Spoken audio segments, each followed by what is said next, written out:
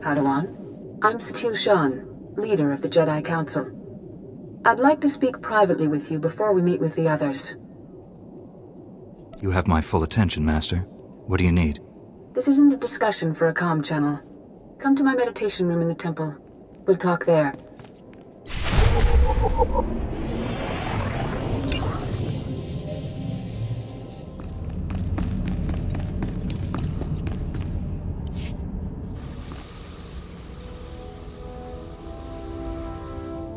Welcome, Padawan. The temple is already buzzing with accounts of your heroism in the training grounds. Master Orgus told me you battled flesh raiders, and a force user armed with a lightsaber. That must have been a disturbing confrontation. Are you alright? I'm sorry things ended in violence, but I'm glad to be alive. Taking a life affects the living force, and the one who does the killing. This is why Jedi enter battles calmly with reason.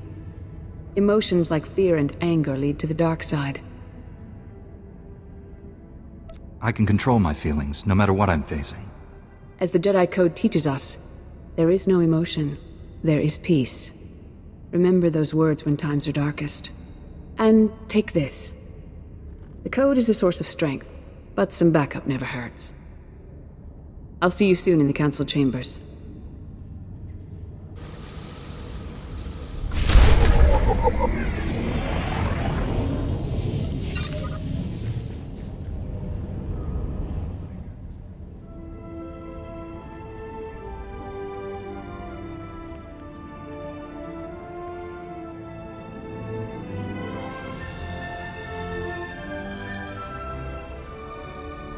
I searched the temple archives.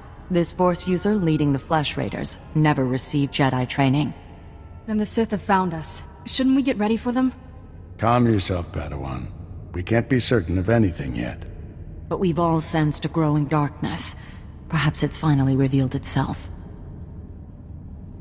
The enemy I faced wanted to destroy the Jedi Order. Can't get much darker than that. Well, that brightened up the room. Everyone, this is the Padawan who saved our people in the training grounds. This is Master Kiwiiks and her extremely vocal Padawan, Kira. The other Masters are transmitting from distant worlds. It's unfortunate our numbers are scattered.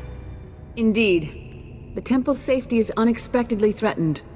The Flesh Raiders were disorganized primitives before today. They carry blasters and work like an army. We need to find out why.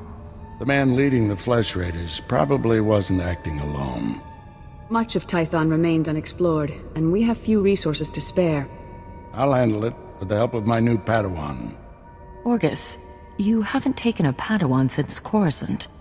The Force is strong in him, stronger than I've seen in decades. I can think of no finer master to complete this Padawan's training. I'll complete my final trials once we've dealt with the Flesh Raiders. That is what you should aspire to, Kira. You'll find supplies in my chambers downstairs. Go equip yourself. I'll meet you there.